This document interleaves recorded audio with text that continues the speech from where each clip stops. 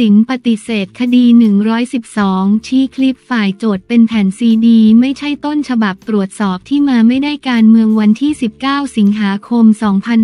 2567 13นาฬิกา 11 นาทีทักษิณปฏิเสธคดี 112 ชี้คลิปฝ่ายโจทย์เป็นแผ่นซีดี ไม่ใช่ต้นฉบับตรวจสอบที่มาไม่ได้นัดสืบพยานอีกครั้งปี 2568 เมื่อเวลา 12 นาฬิกา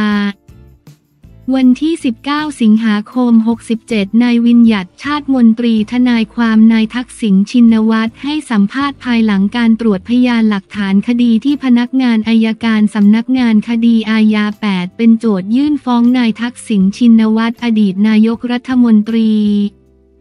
เป็นจำเลยในความผิดคดี 112 และพรบคอมพิวเตอร์ พศ 2550 กรณีเมื่อปี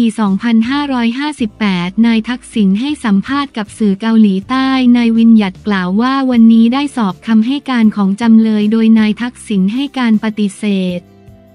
พร้อมนำเสนอพยานหลักฐานประกอบด้วยพยานฝ่ายบุคคลฝ่ายจำเลย 14 ปาก และพยานเอกสารอื่น ซึ่งจะนำเสนอในชั้นพิจารณาคดีต่อไป ส่วนฝ่ายโจทย์มีพยานทั้งสิ้น 10 ปาก เชื่อว่ามีการสอบสวนไปแล้ว และฝ่ายโจทย์ไม่ได้อ้างพยานเพิ่มเติม เนื่องจากอาจจะเห็นว่าเป็นพยานที่ไม่มีประโยชน์ หรืออาจเป็นพยานที่ไม่สามารถพิสูจน์ความผิดของฝั่งจำเลยได้ นอกจากนี้ยังมีพยานผู้เชี่ยวชาญ เพื่อตรวจสอบข้อมูลทางอิเล็กทรอนิกส์ตามคลิปที่ปรากฏในระบบคอมพิวเตอร์ โดยนายวินยัดยืนยันว่าคลิปที่มีการส่งตรวจตั้งแต่แรกเป็นการรวบรวมจากระบบอินเทอร์เน็ตลงในแผ่นซีดี ไม่ใช่หลักฐานจากสถานที่จริง เจ้าหน้าที่ที่ตรวจสอบคลิปที่เป็นประเด็นยืนยันว่า คลิปดังกล่าวไม่สามารถตรวจพิสูจน์ได้ถึงความเป็นต้นฉบับ การตัดต่อและการแปลความเป็นภาษาไทยก็ไม่สมบูรณ์ เรื่องนี้มีภาษาอังกฤษเพียงคำเดียว ที่เป็นปัญหาและนำไปสู่การกล่าวหานายทักษิณซึ่งสอดคล้องกับที่ตนได้เคยถแถลงก่อนหน้านี้ว่า หลักฐานของฝ่ายโจทย์เป็นเพียงการรวบรวมคลิป นายวินยัดกล่าวว่าสำหรับเรื่องคลิปที่ไม่ได้มาจากต้นฉบับจะนำมาเป็นข้อต่อสู้ของจำเลยได้อย่างไรนั้น ยังไม่สามารถลงรายละเอียดในเวลานี้ได้ หลังจากนี้จะเป็นการพิสูจน์ความจริงต่อศาลขึ้นอยู่กับศาลจะรับฟังพยานหลักฐานและมีคำวินิจฉัยอย่างไร อย่างไรก็ตามมองว่าเรื่องนี้นายทักษิณถูกกระทำจากระบบการกล่าวหา ซึ่งตนมองว่าระบบการกล่าวหาของประเทศไทยยังมีปัญหา หากมีโอกาสก็ควรมีการแก้ไข นายวินยัดกล่าวว่าสำหรับการสืบพยานหลังจากนี้มีทั้งหมด 7 นัด โดยฝ่ายโจทนัดในวันที่1 2และวันที่ 3 กรกฎาคม 2568 นัดสืบพยานฝ่ายจำเลยจะสืบพยานในวันที่ 15 16 22 และวันที่ 23 กรกฎาคม 2568 หลังจากนั้นจะจัดทำคำพิพากษาของศาลต่อไป ซึ่งหลังการนัดสืบพยานในปีหน้านั้น เนื่องจากศาลอาญาเป็นศาลใหญ่มีคดีจำนวนมากต้องนัดสืบพยานไปตามลำดับของคดี ส่วนจะเกี่ยวข้องกับกฎหมายนิรโทษกรรมหรือไม่นั้น ตนเองไม่มีความเห็นเมื่อถามถึงกรณีที่ฝ่ายจำเลยจะขอยื่นสืบพยานลับหลังหรือไม่ นายวินยัดกล่าวว่าได้รับการยืนยันจากนายทักษิณว่า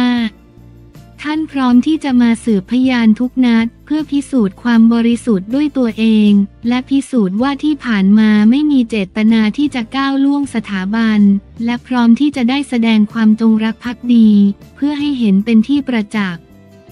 ซึ่งประชาชนคนไทยก็เห็นได้อยู่แล้ว หากศาลอนุญาตให้สืบพยานลับหลัง ท่านอาจจะไม่ได้เดินทางมาด้วยตนเอง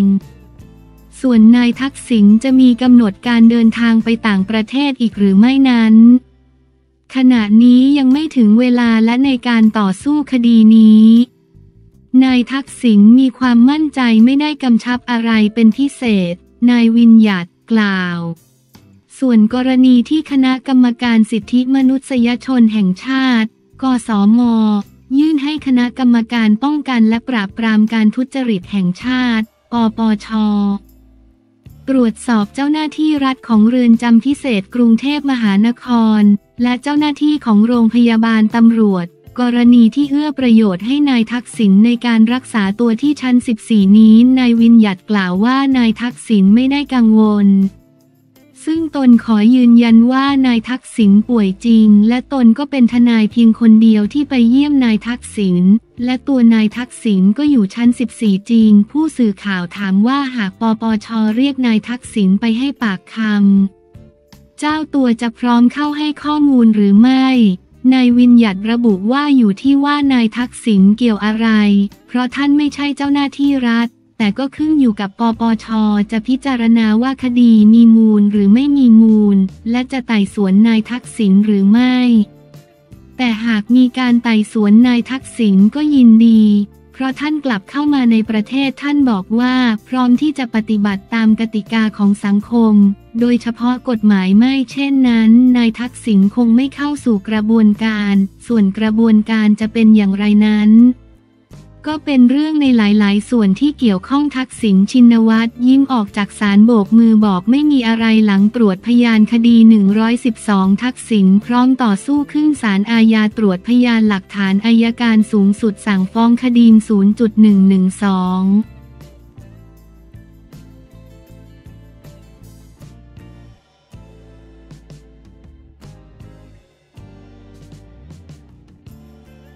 รุ่งโรดมั่นใจปิงปองพาราไทย ผลงานเยี่ยมหลังชุบตัวฝรั่งเศสก่อนลุยปารีสเกมกีฬาวันที่ 19 สิงหาคม